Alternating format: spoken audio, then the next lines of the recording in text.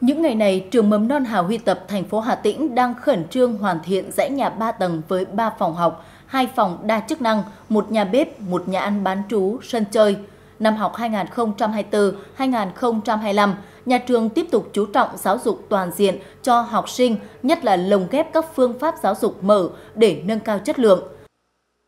À, ngay từ đầu tháng 8 thì à, để chuẩn bị cho cái năm học 2024 À, 2025 thì à, cái việc mà nhà trường quan tâm nhất đấy là cái cơ sở vật chất để chuẩn bị cho năm học mới. Đó là công tác à, tổng vệ sinh lao động tất cả các cái lớp học và các cái bộ phận để phục vụ công tác giảng dạy. Và điều đặc biệt hơn nữa là trong cái năm học 2024-25 thì nhà trường đã được nhận một cái dãy nhà ba tầng. Được cái sự quan tâm của của của lãnh đạo thành ủy lãnh đạo ủy ban nhân dân thành phố thì cũng đã kịp thời để ban giao trước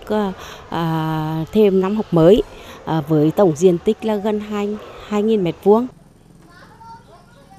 Cùng với chuẩn bị cơ sở vật chất thì chất lượng đội ngũ giáo viên cũng được các nhà trường trên địa bàn thành phố Hà Tĩnh đặc biệt quan tâm. Tại trường tiểu học Đồng Môn, công tác chuẩn bị cho năm học mới cũng đã được gấp rút triển khai. Nhà trường đã cử 32 giáo viên tham gia các lớp tập huấn, nâng cao trình độ chuyên môn, đảm bảo năm học mới đạt kết quả tốt nhất. Chuẩn bị cho năm học 2024-2025 thì ờ, ngày ờ, 6 ngày mùng 1 tháng 8 giáo viên trả phép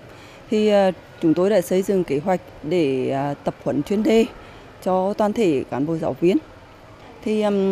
bên cạnh cái việc tập huấn của nhà trường, thì giáo viên cũng tham gia cả cái buổi tập huấn chuyên đề mà do ngành tổ chức và cơ bản thì chúng tôi thấy là đến thời điểm hiện tại thì cái việc tập huấn chuyên đề là đã uh, cơ bản là hoàn thành và có thể là sẵn sàng tấm thể để chuẩn bị cho năm học 2024-2025. Cùng với sự chủ động tích cực từ các nhà trường, ngành giáo dục thành phố Hà Tĩnh cũng đã có những giải pháp để nâng cao chất lượng giáo dục toàn diện cho học sinh.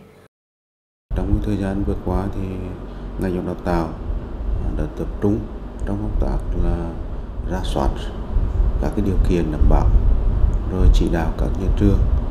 là chuẩn bị à, các cái điều kiện về cơ sở vật chất, về đội ngũ, đặc biệt là à, ra soát lại cái việc là triển khai thực hiện chương trình, kế hoạch à, của chuyên môn để nó đáp ứng được cái yêu cầu triển khai thực hiện nhiệm vụ các cái giải pháp của thực hiện nhiệm vụ năm học 2024 2025 với những kết quả đã đạt được cũng như sự chuẩn bị kỹ lưỡng cả về chất lượng đội ngũ, đầu tư cơ sở vật chất khang trang hiện đại, kỳ vọng một năm học mới, ngành giáo dục và đào tạo thành phố Hà Tĩnh tiếp tục đạt nhiều thành tích mới cao hơn.